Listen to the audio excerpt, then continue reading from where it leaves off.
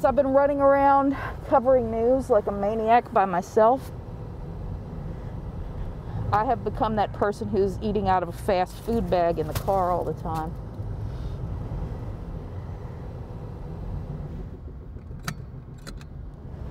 Downtown Jonesboro here.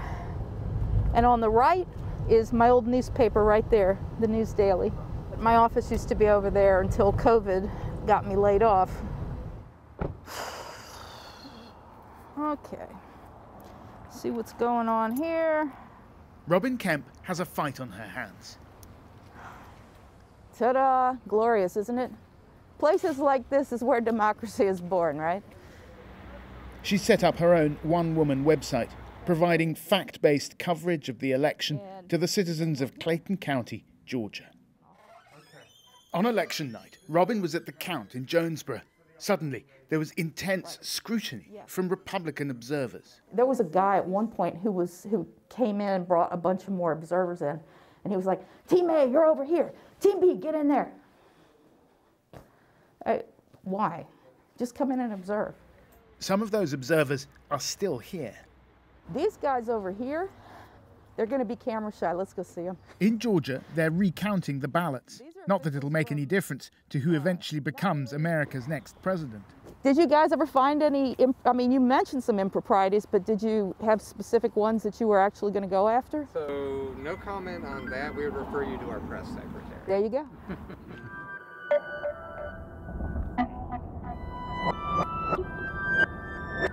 They're trying to steal an election. They're trying to rig an election.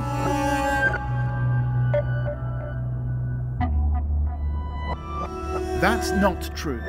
But a different battle is being waged.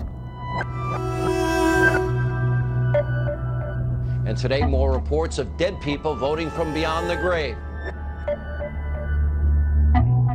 Not for the White House, that's decided, but for the narrative. It's been frankly embarrassing. No evidence, unprofessional, desperate. It's a battle fought not in the real world, but on social media and the cable news networks. I mean, why not just say we're not going to accept the results of this election? It's outrageous.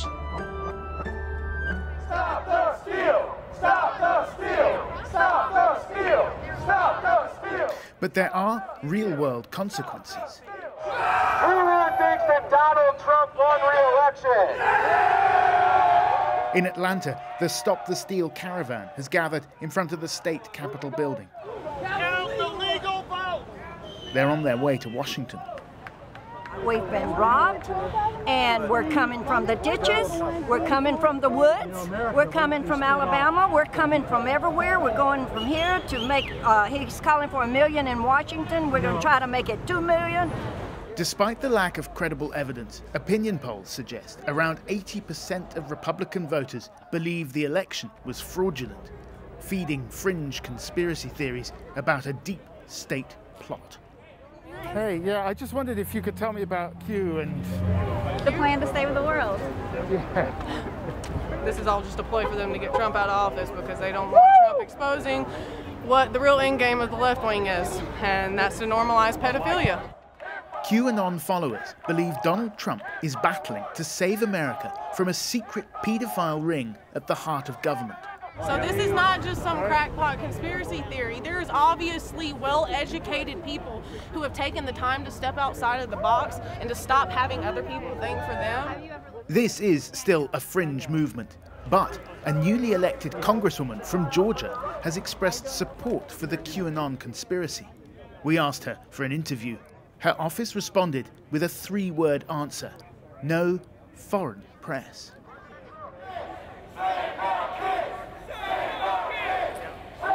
Beneath the more outlandish and sometimes, frankly, crazy things being said here, there is a more basic feeling. These people feel that for many years now, traditional government has not been working for them.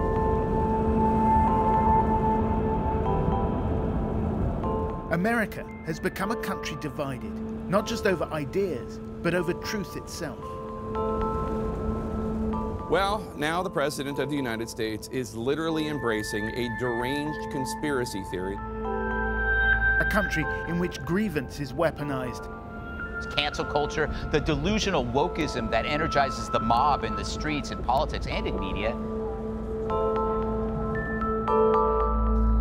So this is the Confederate Cemetery in Jonesboro, Georgia, where the Battle of Jonesboro was fought. The culture war is spreading from the old battlegrounds into almost every aspect of American life. As a journalist, I try to keep a skeptical eye and, and, an open ear.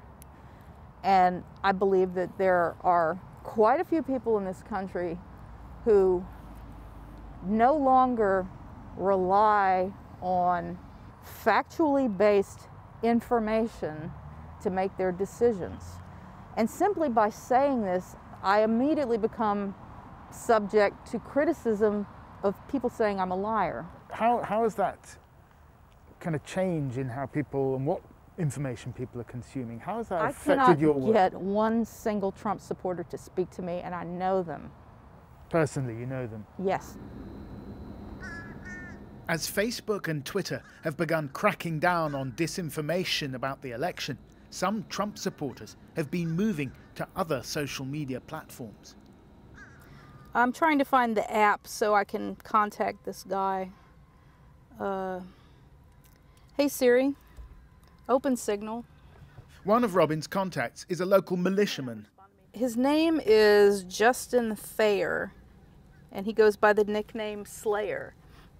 Uh, Thayer's group provided security to uh, Marjorie Taylor Greene's campaign. She's the congresswoman who's supported the QAnon conspiracy theory. I think that a lot of folks who are very Second Amendment uh, loyal uh, or who are in militias and who believe that they are the last line of defense between democracy and all out chaos feel that their moment may be near. Is that usual? Do you see this usually at elections? No. I've never seen anything like this before.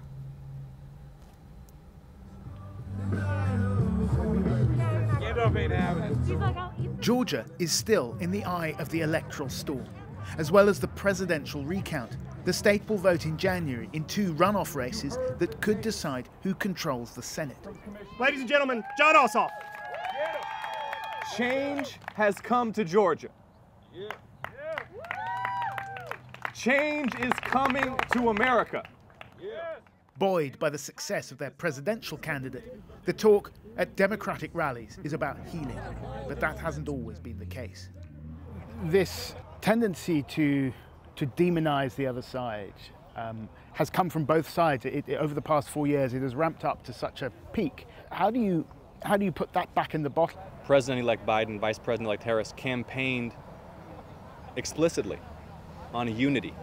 But here's what I would say further to your question.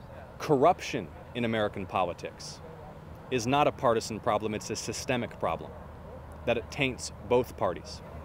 The reason that there's been such a destruction of confidence in our institutions that then paved the way for the rise of a right-wing demagogue is that deeper underlying corruption. About an hour's drive north of Atlanta is the town of Rome. I'm Marjorie Greene, and I'm running for Congress in the 14th District of Georgia. Marjorie Taylor Greene ran here on a range of typically conservative issues anti abortion, pro gun. But she's also the Congresswoman elect who believes in the QAnon conspiracy. The voters of this district have just dispatched to Washington a representative who believes that America is under threat from, in her words, a global cabal of Satan worshipping paedophiles. She ran unopposed after her Democratic opponent pulled out, forcing some Republican voters to balance their conservative instincts against her more outlandish beliefs. Yeah, I, I don't think I buy into that. I'm more of the middle. Do you feel comfortable that somebody like that represents you in Washington?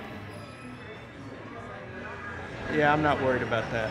You're not worried about it? No. Okay, all right. If there had been somebody on the ballot who uh, didn't believe in cabals of Satan worshipping paedophiles, would you have preferred to vote for somebody like that? Well, that's very speculative. I would, uh, have, in the Republican primary, I very well might have. Yeah. But I would never vote for somebody as liberal as what the current left agenda has.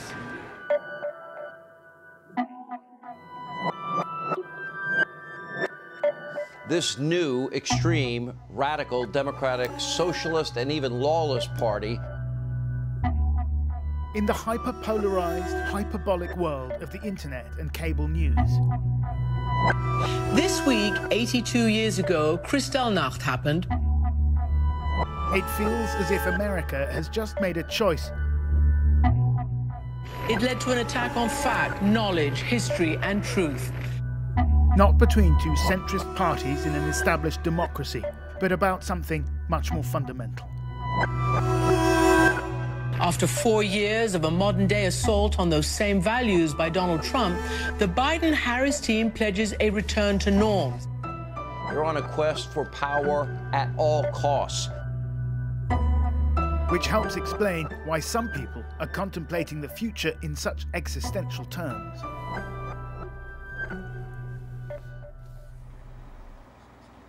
The militiaman Robin contacted didn't want to speak to us on camera, but he put us in touch with one who did. Our country has fallen apart.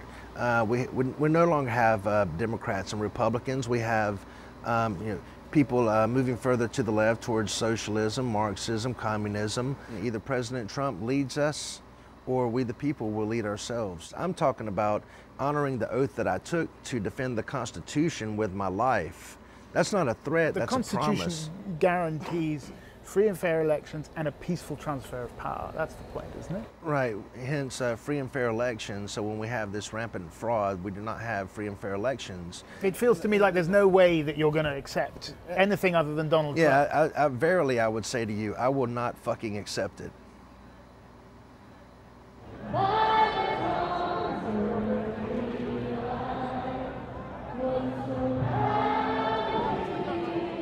Eleven days since the election, the Stop the Steal caravan has descended on Washington. Holed up inside the White House and still not conceding, Donald Trump has barely been seen in public. But then. It looks like he's doing a lap around the square here.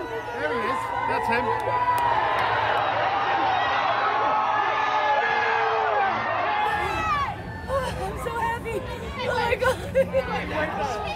They're trying to steal it from me. We can't have that. We can't have that. No, he's our president, he's our commander in chief, and always will be. Oh my God, I love that man. Woo! CNN sucks. CNN sucks. Fox News sucks. Fox News sucks. All the networks have called it for Biden, including Fox News. What the hell happened? What a disgrace. They're the enemy of the people. A million people, it is not. Maybe a few tens of thousands. Still. USA! USA! USA!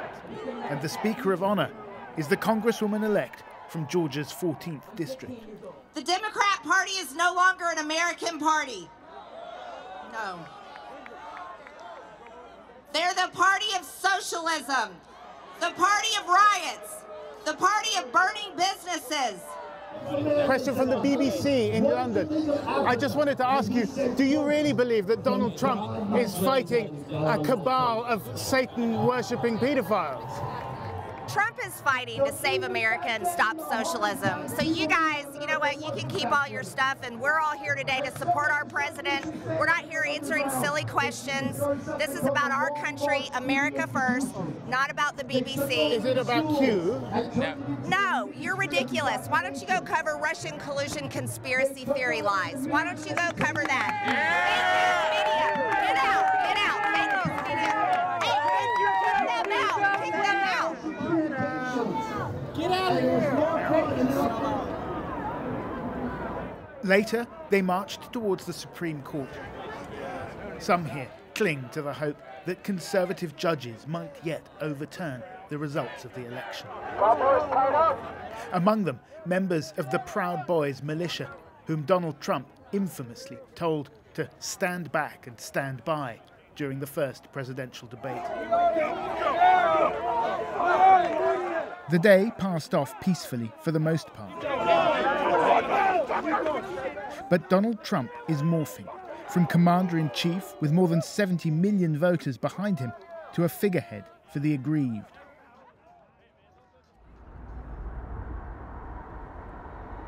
I'm not interested in pushing one candidate or another. I'm, that's not what I'm doing here. In Jonesboro, Robin Kemp continues her one woman fight for a common set of truths. If people are getting bad information or propaganda, which is a piece of the truth wrapped up in a tissue of lies, um, they don't have all the information they need to make a sound decision in a democracy. It's tedious, unglamorous work. Call the elections and registration office to see if Sean is available. But upon it may depend the future of these United States. Hurry up and wait. The reporter's life, hurry up and wait.